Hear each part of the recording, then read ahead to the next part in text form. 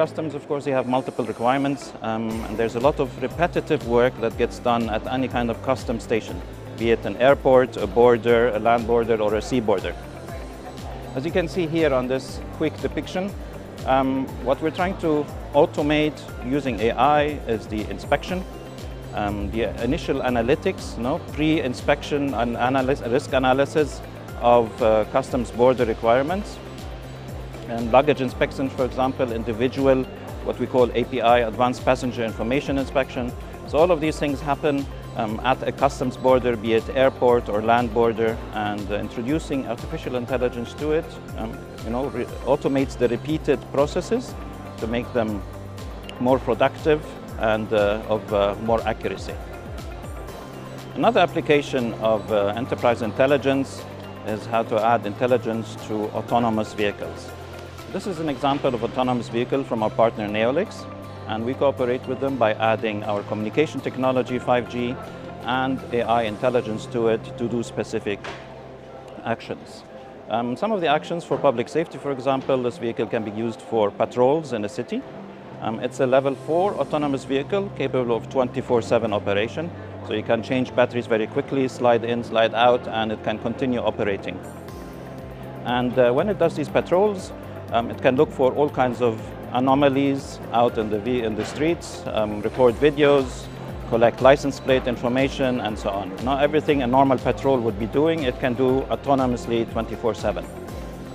Other applications are in smart city, um, where you can use it from a municipality perspective, you know, looking at buildings from a building inspection point of view, um, no fallen trees, debris on the roads, anything that needs action from a municipality point of view. So there's multiple things that can be trained on the AI. Like I said, it's trained on the cloud and then inferenced inside the vehicle using edge computing, which we provide. Communication back to the head end is using 5G technology, and this helps it navigate, uh, provide positioning, and real-time information. Okay, there are many applications of smart campuses. It could be for an airport, it could be a campus of a university, or it could be a business campus. And campuses usually have many subsystems. I mean, security systems, wireless system, asset management system, I mean, fire, building management, asset tracking, and so on. So how do you keep you know, an overview of all the systems at the same time? So what we've created here is we call it an IOC, Intelligent Operation Center, and it's specifically designed for smart campuses. It gives you an overall three-dimensional view of the campus, and all systems are integrated. So this is the initial dashboard. It shows you, for example, how many um, people are actually on site right now, um, how many people, how many cars are in the car parking. And you see there's multiple menus which shows us different types of subsystems we can zoom into. And for example, if we go into security management,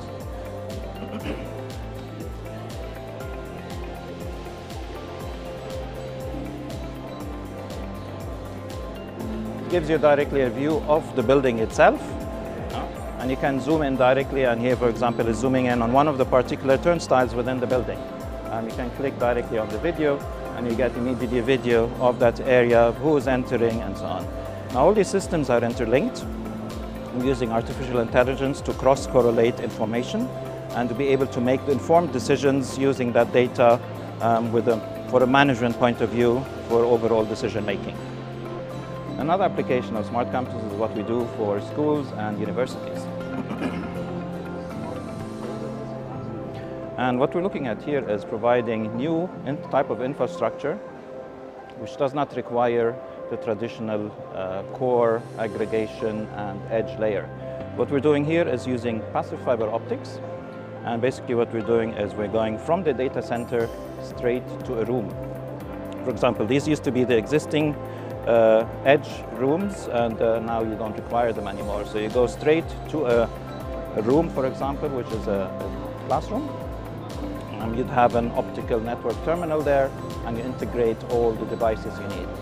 This provides multiple advantages. Uh, first of all, it is future-proof because the fiber is there forever and all you have to do is update or upgrade equipment when required. So there's no end of life of an overall solution and the solution can be you know, updated as and when required with the latest technology as you go.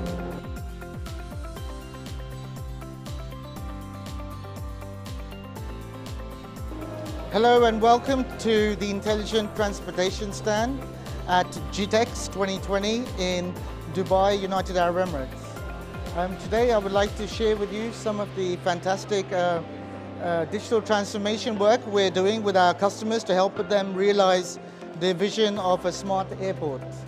Um, as you're aware, you know, the industry is going through a lot of challenges uh, with digital transformation for airports because of um, the lack of uh, proven reference cases that they can use as templates. So that is up till now. Now I think they have a reference because um, for the last couple of years we've been working with Shenzhen Airport, deliver 100 projects within two years to allow them to realize their vision of a smart airport. And I would like to share the solutions that we've delivered which focus on three particular areas very close to airports. Well, one is the passenger experience, secondly the operations in the airport for efficiency, and thirdly the security and well-being of passengers and staff. So I'd like to start then by taking you through the passenger flow. So as an IATA strategic partner, we, uh, we've been contributing to the industry and we understand the checkpoints at which the passenger needs to be monitored to allow them to seamlessly negotiate all the passenger checkpoints. But we, additionally, what we do is we also uh, are able, with our solutions, to locate the passenger between the checkpoints using facial recognition so that if the allure of shopping proves too much for the passengers and they are late for their flight, we are able to efficiently locate them and bring them to the airline, preventing delays. We also have something called the Flight Information Display Screen, which allows them to look into the screen and a picture of their map and their gate and their current location is provided uh, to them so that they can easily navigate towards the boarding gate. Um, We've had a lot of experience uh, working with public operators at airports and also with airlines and I'm going to show you an example of where we've implemented this solution at Beijing Daxing Airport, one of the biggest airports in the world. Please enjoy this video.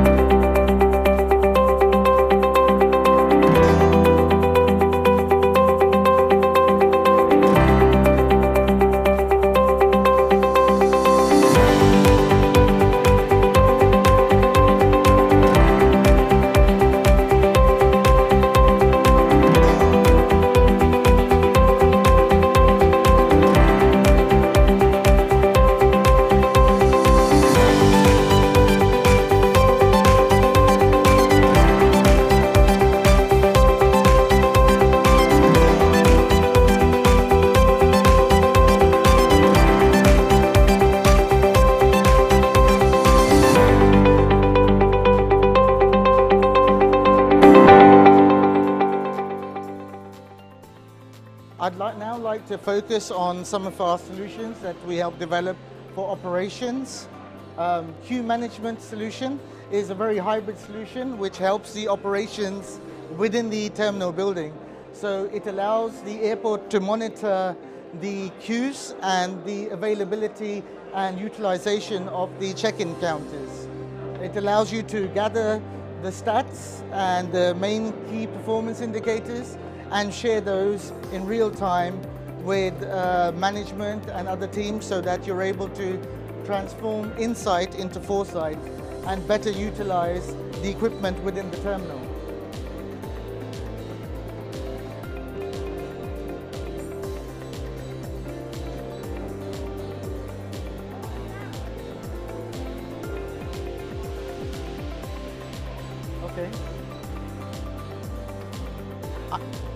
Would also now like to uh, introduce you to the plane journey because we have passenger journey, but not, not enough focus has been provided to the end-to-end -end plane journey. And in the plane aircraft or the plane journey, we have several solutions which guide the airport upon landing to the stand and allows for all the different services to be performed efficiently and safely to reduce the amount of time and fuel that the aircraft uses when it's on the ground. And I will take you through some of the demos in more detail for each of these solutions that we've delivered, along with the benefits.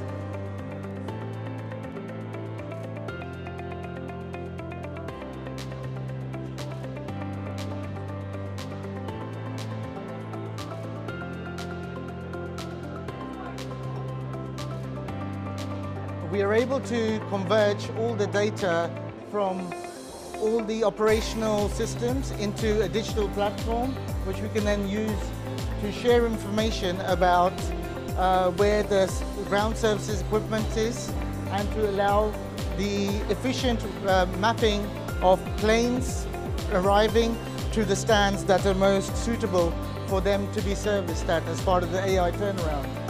And what this allows us currently is to allow more flights to be docked because in some cases where there are flight delays, the airport has to change over and reschedule all the flights to new stands. And this can take a number of hours. But with this application, what we can do is we can do it all within a couple of minutes. And I'd like to show you a video demo of how this works.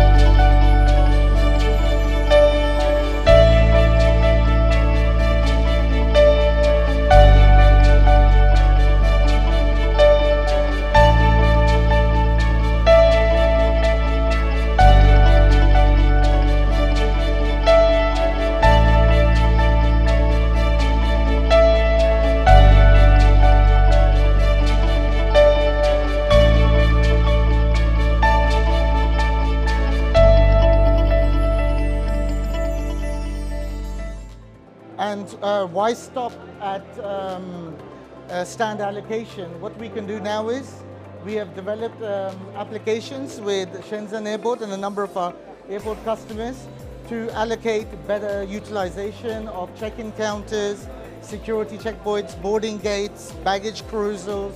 So the idea is to, with the big data and the intelligence that our solutions can provide. We're able to provide guidance tools for better management and utilization and allocation of the airport's resources.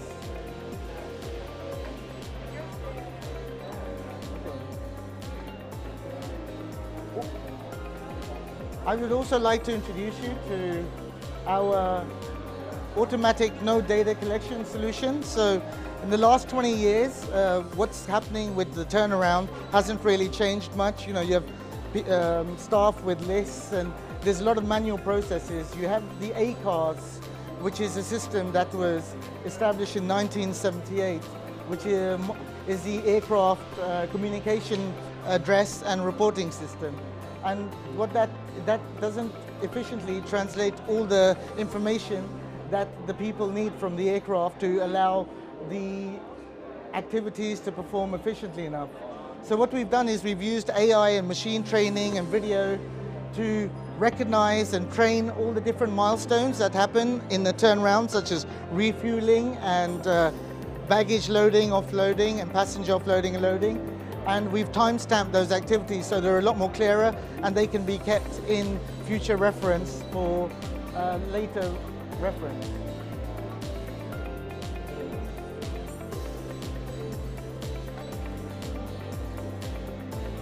And I will now share with you uh, the solution that we provided. So you can see is uh, every time that the aircraft uh, activity at turnaround is identified, you will see a rectangle appear there and this is a solution then allows each of these essential activities to be time stamped and put away. And what this does is it resolves a lot of uh, disputes and training challenges that staff have and everything is visible and the level of situational awareness at the time, real time, and also afterwards as a source of reference is valuable to not just the airports, but also to the ground handlers and also to the airlines as well.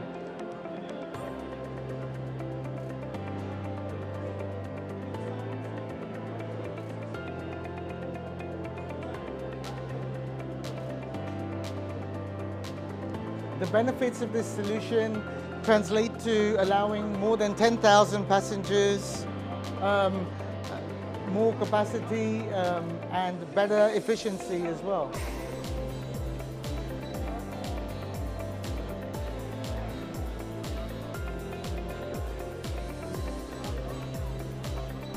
And you can see the passengers in the boarding now on the same plane and as that the doors shut and that plane in reverses, that is the end of the recorded process.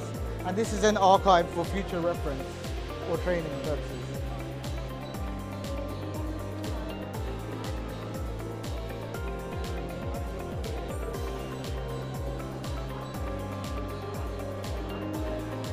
Okay, I would also like to share with you our intelligent operation center solution. This is also called a digital twin in the industry and what it does is it um, converges all your data from all your systems across your airport to provide real-time situational awareness, not just in the air, but also on the apron because uh, for too long now we've not been able to monitor everything in real time in the airfield. And according to the IATA damage report that's where most of the incidents with aeroplanes occur, on the airfield. But also inside the building as well. We're able to monitor the security, the check-ins, the boarding gates using the same uh, one view, one click policy. We can also bring in all the KPIs in the command center to allow uh, better support for decision making and ensure that you know we can bring actionable intelligence to the table. And again, this is um, I think the result of you know a lot of expertise, not just in technology, but in connectivity as well, and experience of digital platforms.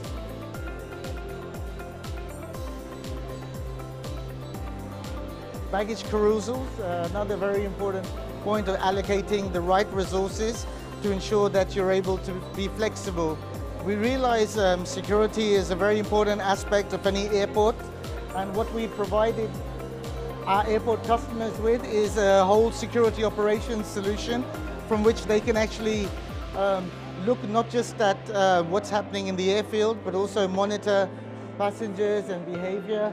I'm going to share a video of uh, some recent very good collaboration we've done in the security area with one of our strategic customers. Please enjoy.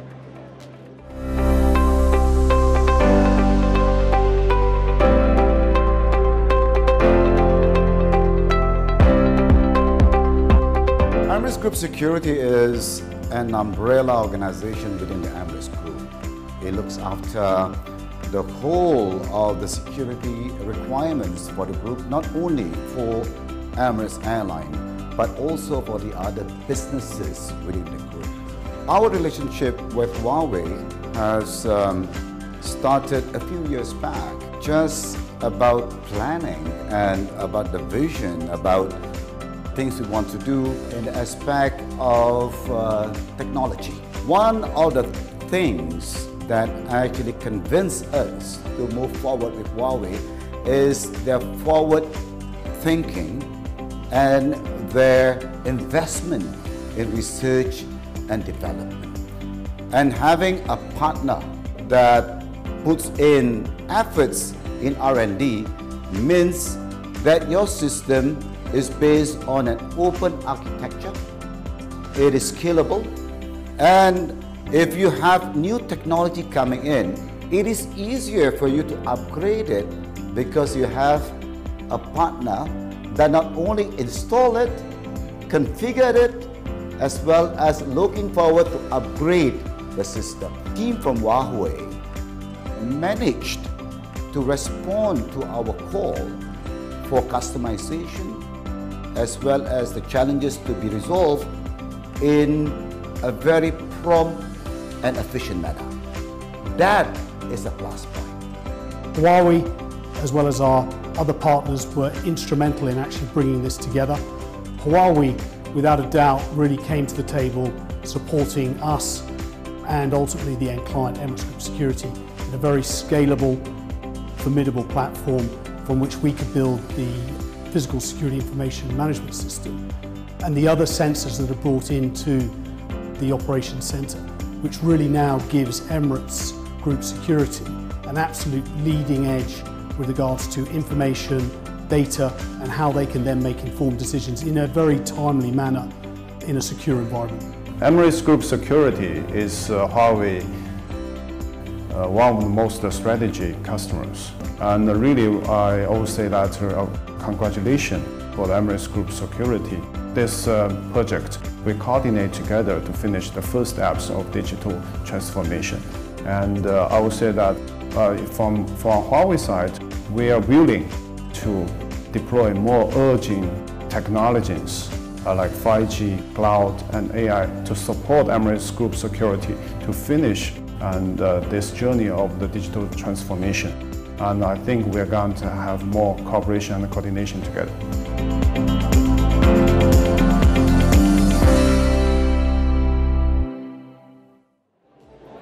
Uh, the solutions that I've shared with you are only possible because of the digital platform that uh, Huawei have uh, developed and this platform consists of the emerging technologies such as artificial intelligence, cloud, 5G, big data.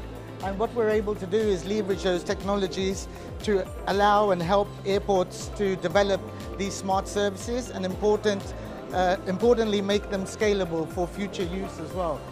So I'd like to share with you here just some of the uh, 5G, AI and cloud solutions that we are currently working on in the airport. So just very briefly, we realize how important fuel costs are on the, uh, for an aircraft and what we're doing with this solution, aircraft ground lighting, is guiding the aeroplanes that land to the most efficient path to the stand. And this allows them to save up to about 40% in fuel costs on the ground, but it's also green and a sustainability initiative that's much called for in the industry.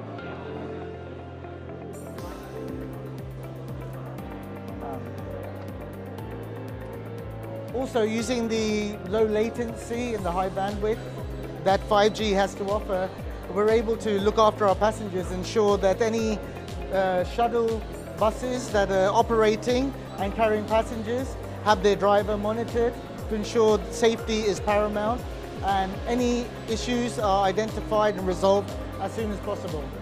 In fact, before they become issues.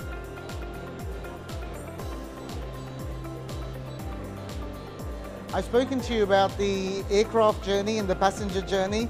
We also have been working on the bag journey as well.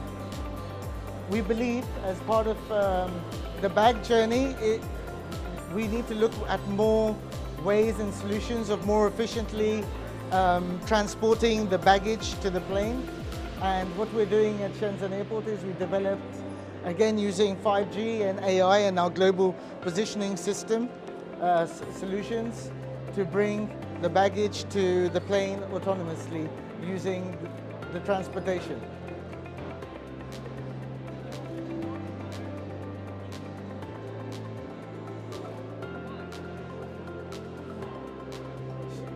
So with all these solutions that I've shared, um, I think uh, digital transformation of uh, smart airports is indeed possible now. And it's something that, you know, we're looking to share our solutions and experience further in the industry and look forward to sharing it with more and more airports so that we can help come out of this uh, era of challenges. But what we can do, I'll do now is leave you with a summary video of Shenzhen Airport and some of the solutions that you've seen, take you through those.